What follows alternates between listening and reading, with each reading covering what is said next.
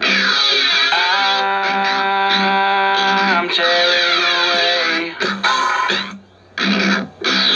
Pieces are falling, I can't seem to make them stay.